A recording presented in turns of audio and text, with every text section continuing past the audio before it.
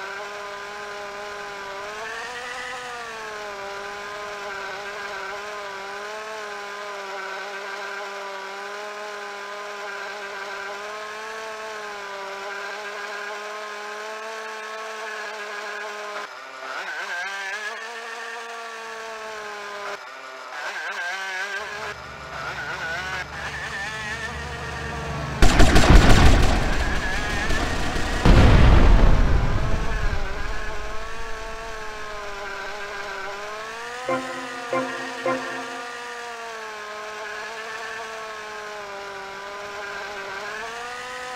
you.